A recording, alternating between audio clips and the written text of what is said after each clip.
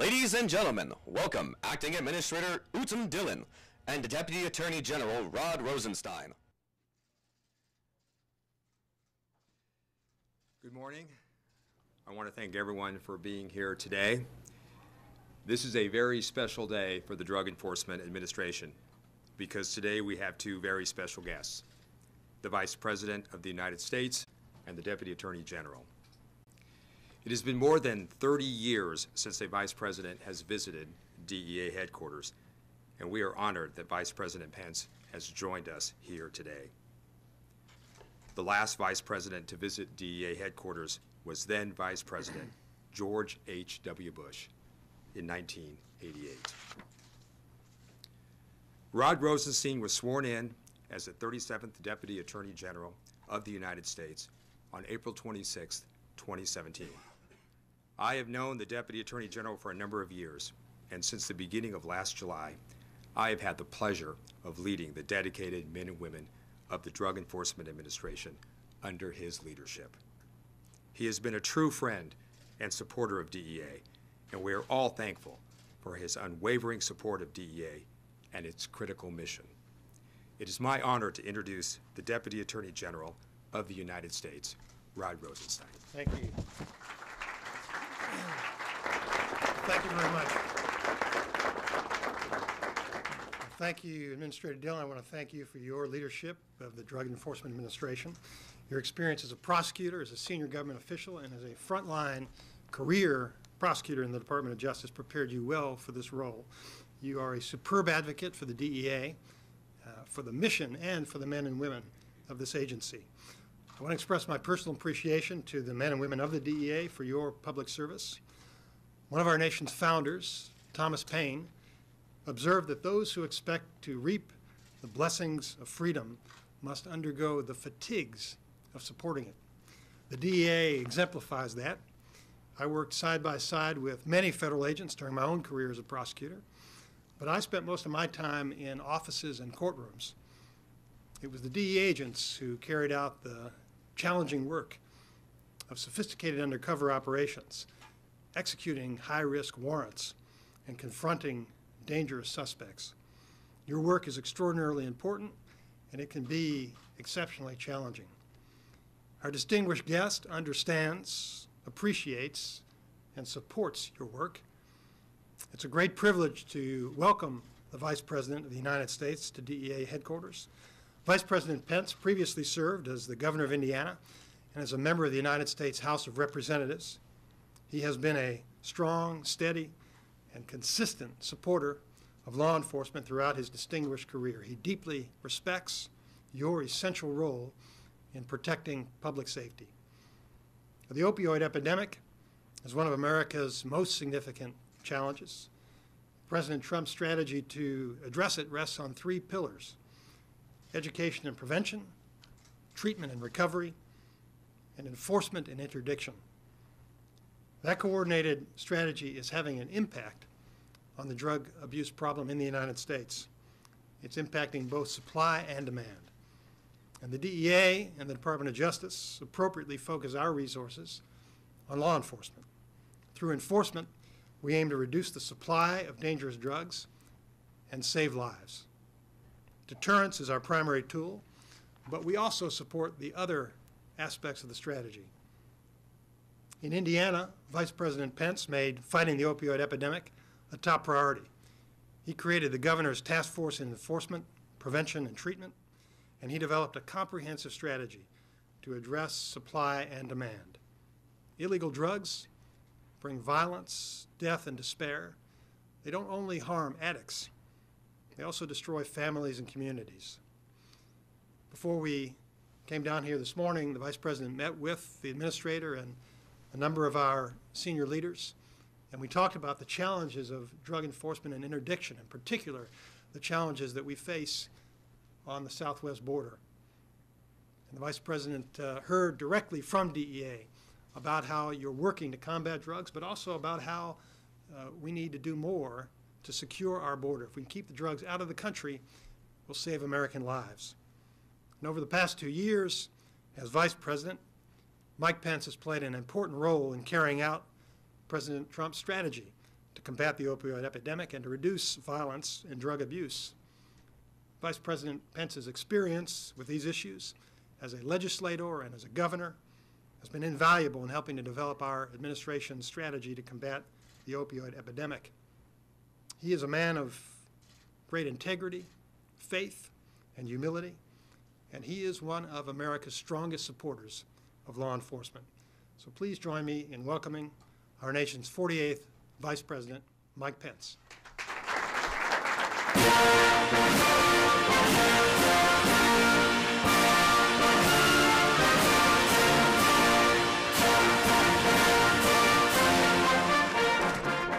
Thank you all. I want to thank the acting administrator uh, uh, for his uh, great leadership uh, of this agency and uh, for his service and his words today. And uh, to the Deputy Attorney General of the United States, Rod Rosenstein, thank you uh, for your service to the people of the United States. Would you, would you join me in thanking these two great leaders for all they do for the American people?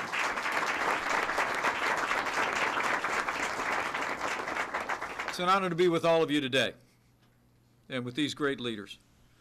And all those you represent, some 10,000 law enforcement personnel, not just around America, but around the world, who are working every day to protect American families and defend this nation from the scourge of drug abuse, addiction, and the crime and syndicates and violence associated with it.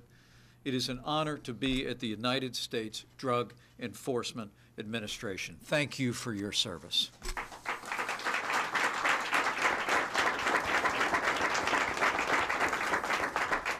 And it's a privilege to be able to come here today uh, to receive a, a briefing from your senior leadership about the status of our efforts uh, in this hemisphere and around the world in combating drug abuse and addiction.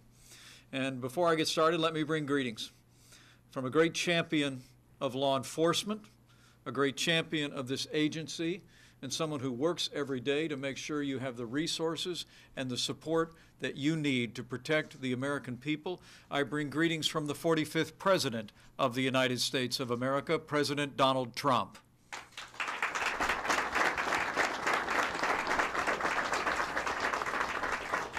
As the President said not long ago, there is nobody that deserves respect more than the men and women of law enforcement.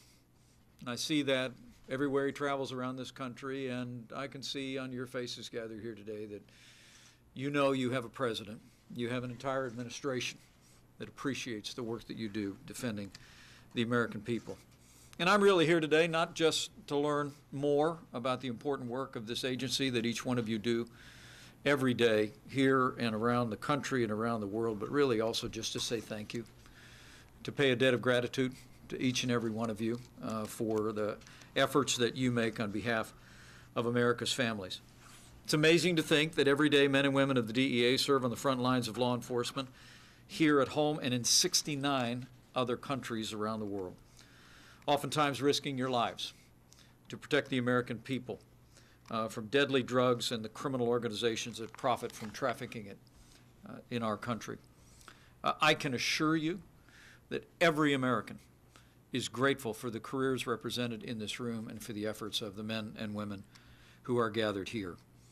Uh, as I sat at the briefing table just a few moments ago, I asked all the senior leadership to tell me how many years they'd been at the DEA.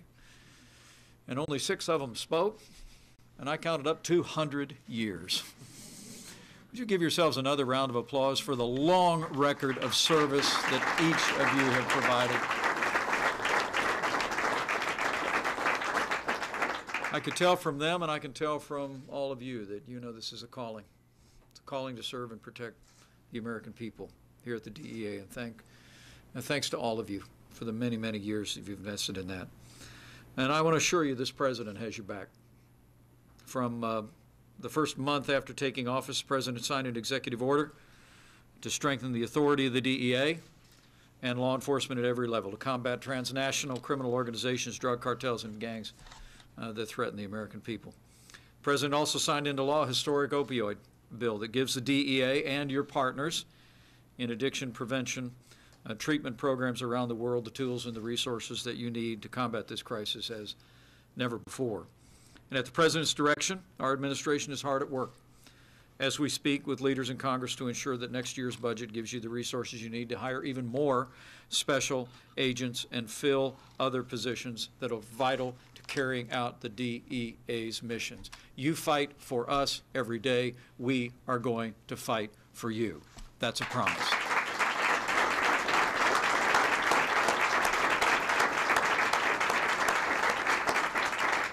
So we've, we've made progress, as the Deputy Attorney General said, in the last two years. But the people in this room and the people that are looking on around the country and around the world know there is much work yet to be done. The truth is, uh, uh, and the President and I are very aware of this, the truth is that your jobs are as difficult and dangerous today as ever before, largely driven by a crisis on our southern border and fueling the very criminal syndicates and drug traffickers that you're dedicated to fighting. It's remarkable to think that on any given day, some 2,000 individuals attempt to come into this country illegally, and for the first time ever, the vast majority of those are families and unaccompanied minors, driven by human traffickers and the cartels uh, in an attempt to overwhelm our system to create even more access uh, to the American people for their nefarious trade. The men and women of the DEA know firsthand uh, the reality and the challenges that we face along our southern border and in this hemisphere. Transnational criminal organizations in Mexico and Central America represent one of the greatest national security and public health threats in America. And every day that our southern border remains unsecured gives these criminals yet another opportunity to peddle their poison and spread their violence into communities large and small across this country. Now, let me assure you, as the debate goes on on Capitol Hill, one way or another, this president and this administration is going to secure our southern border for the sake of the American people and all of you who enforce our laws.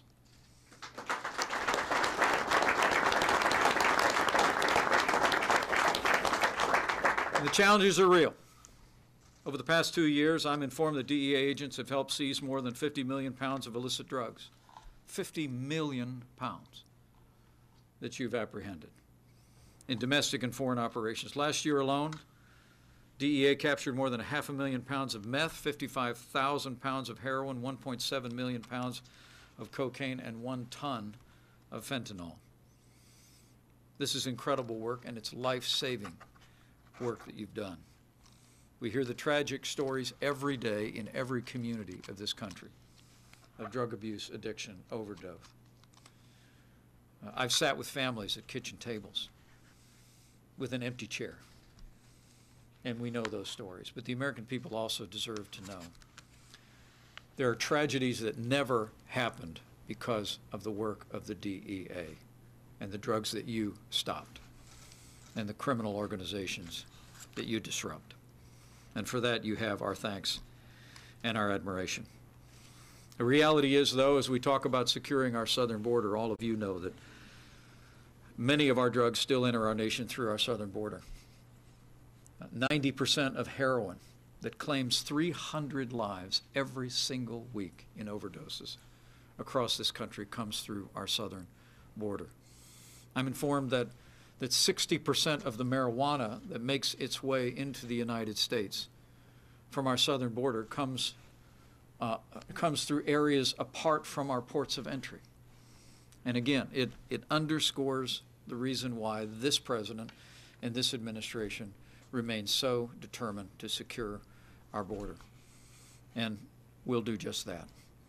We'll do it as, uh, uh, we'll do it as the uh, acting administrator said just a few moments ago to me. He said it's important that, uh, that we do this end to end, that we have a physical barrier on our southern border, that we deploy personnel, that we deploy technologies. What the President is calling on the Congress to do today is an all of the above strategy, but all of the above includes a wall. All of the above includes a physical barrier in the critical, high density areas where our law enforcement community says it's most needed and we're going to continue to fight for just that. The truth is, Mexican and Central American drug cartels are the principal wholesale source of drugs for street level gangs and dealers across the United States. And the American people deserve to know it. Their deadly trade has brought untold suffering to millions of American families. Drug overdose is now the leading cause of death for adults under 55 years of age. And in 2016, across America, 174 people lost their lives to drug overdose every single day. The illicit drug trade not only claims the lives of tens of thousands of Americans every year, it also strengthens those criminal syndicates that the DEA works across this hemisphere and around the world to confront. It strengthens some of the most dangerous criminal syndicates in the world and fuels their heinous activities from extortion to the unspeakable tragedy of human trafficking. These threats radiate across this hemisphere and extend uh, the reach, uh, and by extending the reach, rather, of America's law enforcement community, we are making America safer and more secure in ways that reach far beyond the criminal enterprise of drugs.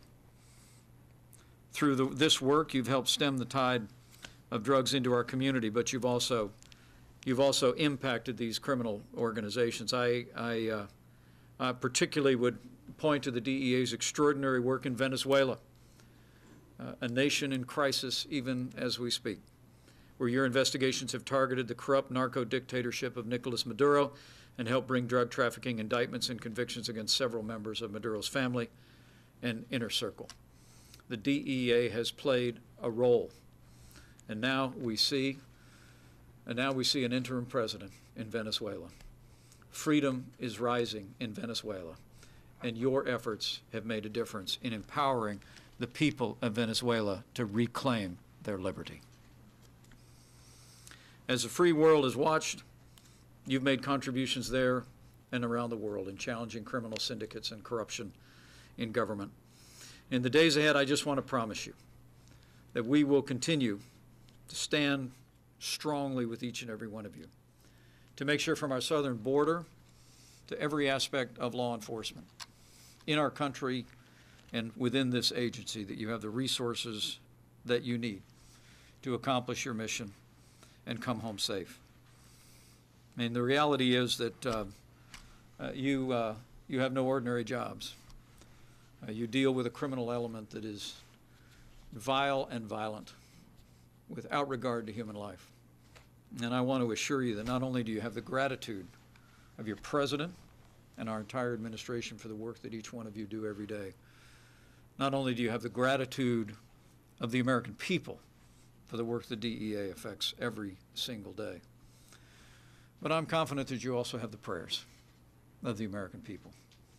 And I close today just simply with a prayer from those ancient words that as you do your work, as you enforce our laws, uh, as you save American families and communities, large and small, from the tragic scourge of drug abuse, addiction, and the tragedy that follows from it.